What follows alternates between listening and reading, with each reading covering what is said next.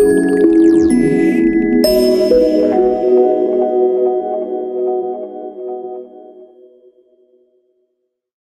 folk, this is Chad Bennett with Bennett Lawn Care Pros. Getting ready to take you on another little tour of one of my properties that I take care of. Uh, you know, we really are proud of the, the work that we do, so we want to show it to you. Here we go. Oh, look at that.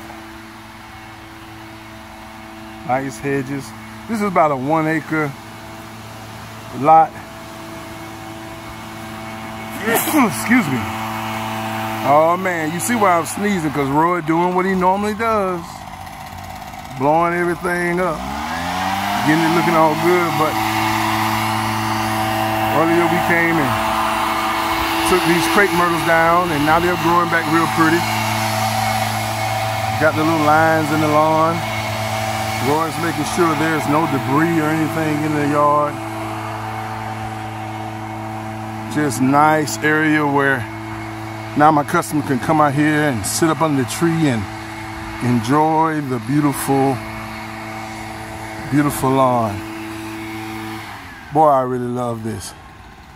Well, as you all got, you guys know, if you want that kind of service, all you got to do is call me, Big Chad Bennett, Bennett Lawn Care Pros, and we'll take care of you. The phone number is 850-778-388, or you can catch us on the web at www.bennettlawncarepros.com. Hey, God bless y'all.